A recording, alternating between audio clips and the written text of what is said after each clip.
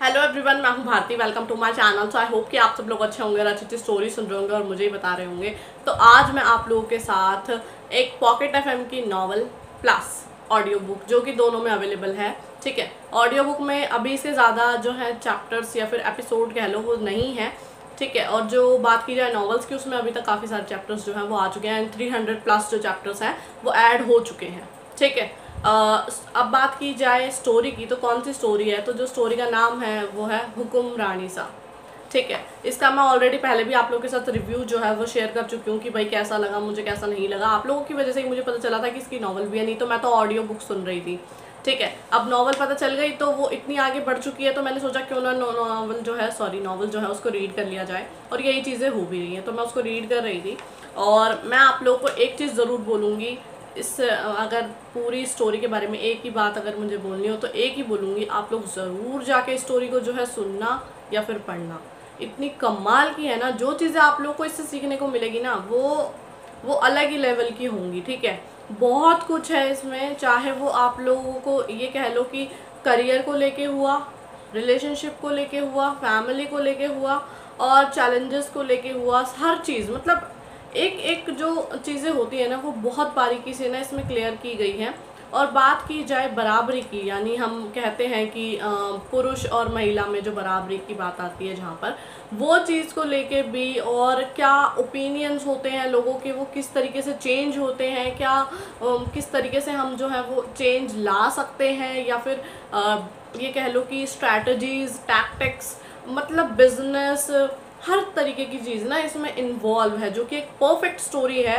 Writer ने इसको बहुत कमाल का लिखा है। मतलब मैं तो ये क्या ही बोलूँ ना मतलब इस स्टोरी के बारे में। बट कहाँ पे बात गड़बड़ा जाती है? क्योंकि ये देखो, मेरा पर्सनल ओपिनियन है, ठीक है? आप लोगों को भी पता होगा, मैं क्या चाहती हूँ, मैं ये, मैं, मेरी अगर खुद की स्टोरीज़ मतलब अगर मैं खुद देख रही हूँ ना कोई स्टोरीज़ को तो एक ही चीज़ होती है कि जहाँ पर भी जो कपल है वो अलग हुआ। वहाँ मेरा दिल टूट गया और वहाँ से जो है मैं स्टोरीज़ को सुनना ना छोड़ देती हूँ। ठीक है? क्योंकि मुझे ना अच्छा नहीं लगता। मुझे लगता है यार नहीं ये बहुत गलत हुआ बहुत गलत हुआ। वो एक कपल वो दिमाग में लेके हम चल रहे थे और फिर अचानक से उनके बीच में लड़ाई हो गई। या जो भी कुछ है सिचुएशन के हिसाब से वो अलग हो गए बाद में चल के वो दोबारा मिलते हैं। वो तो देखो होना ही होना है।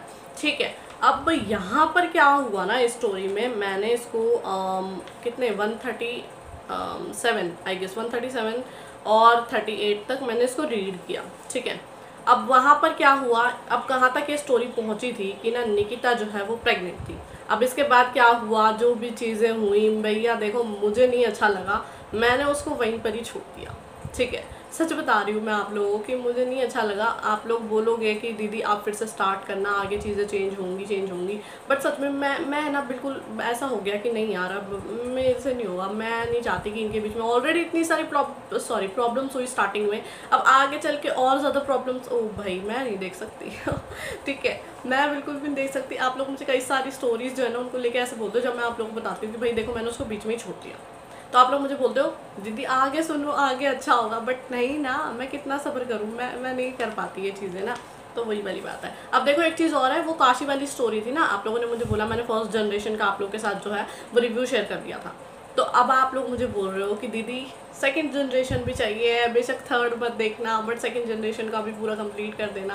अब आप लोगों ने मुझे इतना बोला है तो मैं उसको डेफिनेटली जो है ना सेकंड सीज़न और सॉरी सेकंड जनरेशन उसको भी पूरा रीड करने के बाद रिव्यू शेयर कर दूँगी बट आगे देखेंगे फिर चीज़ें, क्योंकि यार मैं बस वही आप लोगों ने बोला कि देखो, वो जो काशी है, वो नहीं मरी है। तो ये चीज़ें हैं बट अब वापस आ जाते हैं हम इस स्टोरी पर तो इसमें क्या हुआ ना कि ठीक है, पहले जिनको नहीं पता थोड़ी सी इसकी मैं डिटेल्स जो है वो फिर से प्रोवाइड कर देती हूँ कि जो इसके राइटर है, उनका नाम है मीरा शास्त्री निकिता कुमारी, ठीक है? और इसमें क्या था मेन कैरेक्टर्स जो थे, उनका नाम था निकिता और जो कि आईएएस बनना चाहती थी और जो सेकेंड हैंड के अपोजिट उनका नाम है रणविजय सिंह शेखावत, ठीक है?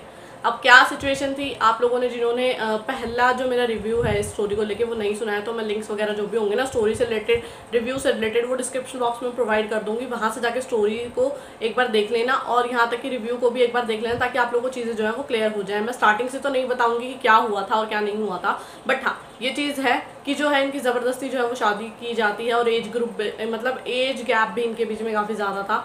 बट फिर भी जो रणविजय हैं वो सपोर्ट करते हैं उनको। और देखो जगह के हिसाब से ही क्योंकि देखो राजस्थान की जो है वो चीज़ें दिखाई जाती हैं वहाँ पर जिस तरीके की जो लोगों की सोच है ठीक है? आ, उन उन चीज़ों के हिसाब से फिर भी वो उनको बहुत सपोर्ट करते हैं और वो कहते हैं कि जो तुम्हारा सपना है उसको पूरा करो और उनकी बहुत अलग मतलब हेल्प भी करते हैं। अब रणविजय जो है वो भी कोई आम इंसान तो है नहीं है ठीक है? राजस्थान के हुकुम सा और ये बनती हैं वहाँ की हुक्मरानी सा ठीक है? तो इस तरीके की जो सिचुएशंस है, वो क्रिएट होती हैं और फिर वहाँ पर भी ये अपने हिसाब से जो चेंजेस चाहती हैं, यानी किस तरीके से जहाँ पर, वहाँ पर औरतों को कैसे ट्रीट किया जाता है, ठीक है? यानी कि उनके हस्बैंड जो हैं, अपनी वाइफ्स को जो है, वो ट्रीट करते हैं मतलब एक चीज़ जो, वो कहते हैं चीज़ की तरह, ठीक है? मतलब कभी भी उन्हें मारते हैं, पीटते हैं और मतलब बहुत सारी चीज़ें हैं। हाँ एक तरीके से टॉर्चर की हैं। तो जो हमारी निकिता है, अब वो चाहती हैं, वो चेंज आए। तो क्योंकि भाई देखो, वो पढ़ी लिखी हैं, वो वो तो चाहेंगे। और रणवीर जी की बात की जाए तो ऐसा वो कुछ नहीं है कि वो कोई पढ़े लिखे नहीं है। नहीं, ऐसा कुछ नहीं था। वो भी अच्छे खासे पढ़े लिखे हैं और सारी चीज़ें हैं। तो क्या होता है आगे चल के ना चीज़ें बहुत ही अब अलग भी होते हैं थोड़े टाइम के लिए ही सही बट देखो जो भी है इनके बीच में सिचुएशन जो आती है उस हिसाब से ये दोनों अलग भी होते हैं। फिर साथ में भी आते हैं फिर अब साथ तक भी रह रहे हैं आगे तक भी। फैमिली प्रॉब्लम्स भी होती है यानी इसमें आप लोग को family drama action thrill romance और न, क्या? हाँ बहुत सारी चीज़ें हाँ बहुत सारी चीज़ें। बहुत कुछ देखने को मिलता है। मैंने आप लोगों को स्टार्टिंग में ही बताया कि क्या क्या चीज़ें थी। देखो, मैं ये नहीं बोलूँगी मैं स्टोरी से डिसअपॉइंट हूँ, बिल्कुल भी नहीं हूँ। मुझे स्टोरी बहुत अच्छी लगी, अभी तक भी अच्छी ही है। मेरी नज़रों में वो हमेशा अच्छी ही रहेगी। क्योंकि जो जो चीज़ें इसने बताई है ना, बहुत सारी चीज़ों के ऊपर ना यहाँ पर ध्यान दिया गया है। हालाँकि बात की जाए कैरेक्टर्स की तो बहुत सारे कैरेक्टर्स हैं और सबका अपना अपना ना मेन जो है ना वो रोल है। मैं ऐसे नहीं कहूँगी, सिर्फ़ और सिर्फ़ इन पर ही फोकस किया गया। नहीं, हर एक कैरेक्टर पर फोकस करने की पूरी कोशिश की गई है, जो कि बहुत अच्छी चीज़ है, क्योंकि अगर स्टोरी में इतने सारे कैरेक्टर्स होते हैं ना तो हम मे बी उन पर फोकस नहीं कर पाते बट यहाँ पर राइटर ने बहुत अच्छी कोशिश की है कि वो हर कैरेक्टर पर जो है वो ध्यान देती है। तो ये चीज़ जो है ना, वो बेस्ट थी स्टोरी की, और जो इन्होंने सिखाया, वो तो सबसे बढ़िया था। क्या क्या लेसन दिए, पर आप लोग सिचुएशन देखोगे ना, पर सिचुएशन जो जो चीज़ें इन्होंने उठाई है, ठीक है जो जो मुद्दे यहाँ पर बात की गई हैं जिनके बारे में, वो और जिस तरीके से उनका समाधान निकाला गया, यानी सोल्यूशन दिया गया, वो बहुत बढ़िया था। ठीक है तो ये एक नई सोच की तरफ़ जो है ना, लेके जा रही है ये स्टोरी तो इसलिए मुझे स्टोरी बहुत ज़्यादा पसंद आई। हाँ वो बात अलग है, मैं आगे अगर इसको फिर से चालू कर दूँ रीड करना। बट अभी फ़िलहाल तो मेरा ऐसा कोई प्लान नहीं है। बट चलो, कोई बात नहीं स्टोरी जो थी ना, वो सच में बहुत अच्छी थी। मैं तो आप लोगों को बोलूँगी स्टोरी जो है वो पूरी, अगर आप लोग सुन सकते हो सॉरी सुन हाँ सुनने के लिए भी तो अवेलेबल है। तो सुन सकते हो तो सुन लो अदरवाइज़ जो है वो रीड कर लेना, कोई बात नहीं है। और नॉवल्स जो है ना, आप लोगों को मिल जाएँगी। मैं डिस्क्रिप्शन में सारे लिंक्स वगैरह जो भी होंगे ना, वो प्रोवाइड कर दूँगी। तो ऐसे कोई इशू नहीं है। हाँ पॉकेट एफ़ पर बहुत सारी नॉवल्स जो है ना, वो रिमूव हो चुके हैं। अब क्या रीज़न है उनके पीछे, वो तो मुझे नहीं पता। बट उसके लिए मैं कुछ कर नहीं सकती हूँ। आप लोग मुझसे कई सारी नॉवल्स के बारे में पूछते हो। हाँ। वो नॉवल्स जो हैं, वो जो आप लोग मुझे बता रहे हो, वो रिमूव हो चुकी हैं। तो राइटर से बात करनी पड़ेगी इन चीज़ों के लिए तो। यही किया जा सकता है, इसके अलावा कोई और ऑप्शन अवेलेबल नहीं है।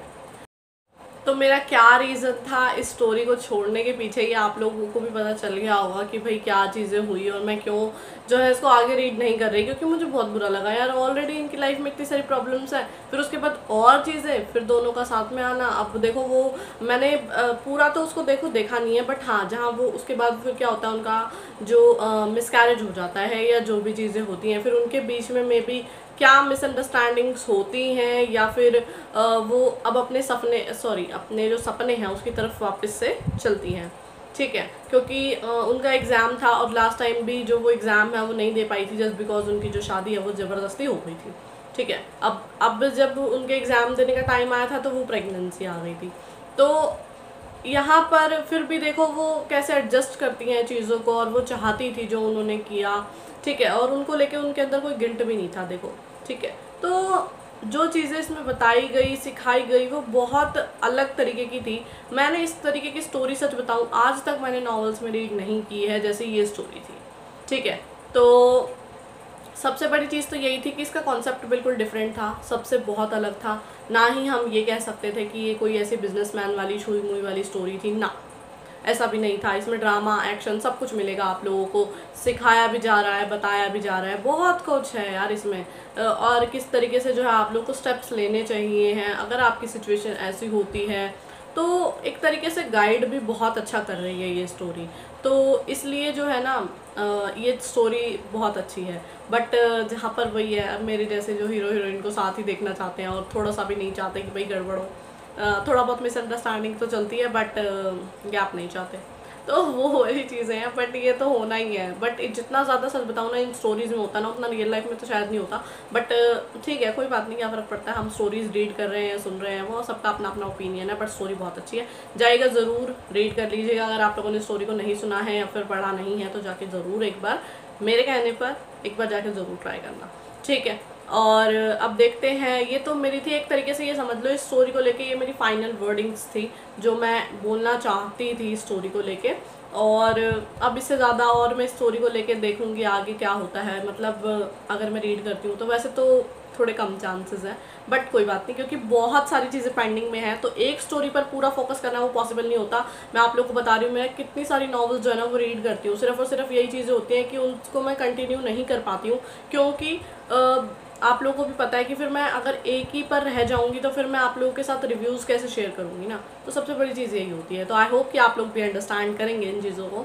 ठीक है? तो मैं उम्मीद करती हूँ कि आप लोगों को मेरी वीडियो और मेरा रिव्यू जो है वो पसंद आया होगा। तो अगर आप लोगों को मेरी वीडियो पसंद आती है तो उस लाइक करें शेयर करें मेरे चैनल को सब्सक्राइब करना बिल्कुल भी ना भूलें।